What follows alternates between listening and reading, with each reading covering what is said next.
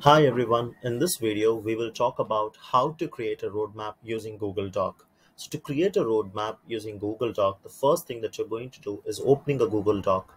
So from your email ID, you'll be able to open your Google Doc. So I'm accessing my email. From there, I'm going to Google Docs. You can open a blank Google Doc. Uh, currently, I have a roadmap, a sample roadmap that I would like to replicate it for today's video. So so I'll just create a roadmap under this sample roadmap that we have. So I'm going to just scroll down the page a little bit. So what you have to do is first click on insert option at the top, insert, and then click on building blocks. Then you have product roadmap options, click on it. So you are able to see the roadmap table appearing on your uh, Google Doc. So first, let us understand the different columns given, and then we will we are going to customize this a little bit. So the project is nothing but the project name that you are planning to put or planning to work on.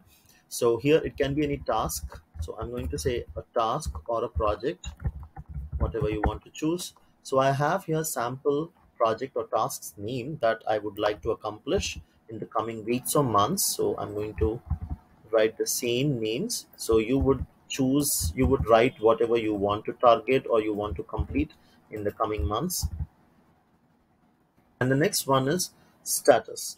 So status implies what is the state of that particular task or a project. What is it in? Is it launching? Is it completed? Is it yet to be started? So you are mentioning it with a particular label over here. So those the default labels that um, the or the options that google doc gives are not started in progress and launched um, so you would be able to select any one of them here. However, there are additional options that you can add. So to customize that, let us do that here. So we are customizing the uh, status options or labels. So you can say intro. So you can click on the drop down over here for this and say add or edit options. So I'm going to add newer options, for example, like to do, or if you are using a blog if you're kind of publishing a blog pub L-I-S-H-E-D, published you can give a color to it. So i can give some kind of colors green any choice of colors.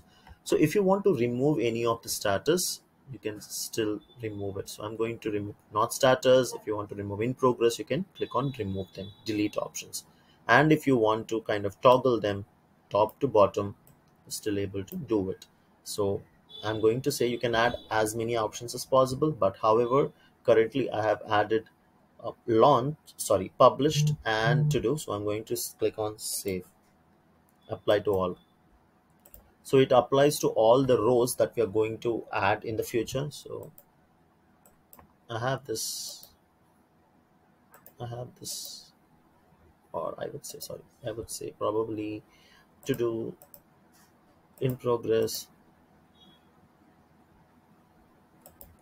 to do okay.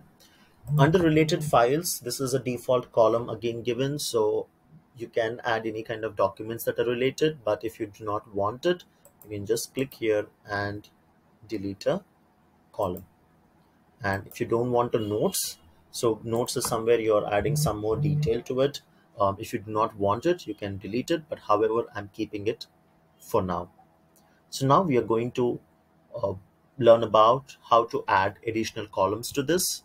So if you want an additional column, just highlight it over here on this first row and you click on the plus option. I'm going to add assignee. Assignee is very important in understanding who is working on that particular task or project.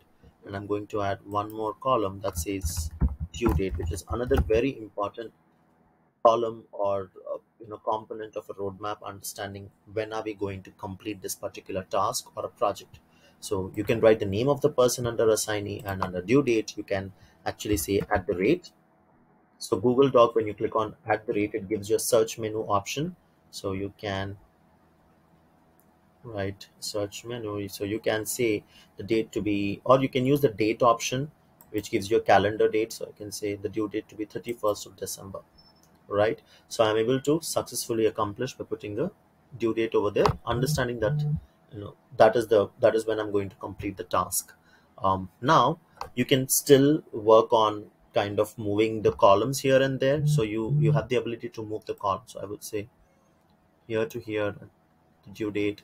Let me put the assignee to here. I want the notes to the bottom so I'm pulling the notes to the end and assignee is over here due date is over here notes is over here. Okay? So we are set with the columns over here. So now we would be able to even sort these columns. So if you want to sort the columns you have this small lines uh, option over there called sort table. You're able to see when I highlight it you're able to see that. You can sort it you can sort start ascending descending if you're giving any due date kind of thing it can be really helpful for let us test this out. So I'm going to say today's date for this and I'm going to say December 15th uh, for this one. So if you want to sort it by date sort table sort descending. Descending 15th is the last ascending 31st is at the last. Highest to lowest lowest to highest is what we are doing. Okay? So now let us add additional um, rows over here on this table. So if you want to add additional rows you can say plus row. Just place your cursor over there and click on plus row, right? So you can write any of the task over there and give a particular status to it. Okay? And you can even sort the rows if you want. This is all about how to create a roadmap very easily very simply on a google doc. If you do have any questions post in the comment section. Let me know what would you like to hear about uh, in the upcoming videos about microsoft docs. And uh, please subscribe to my channel. Thank you and have a nice day everyone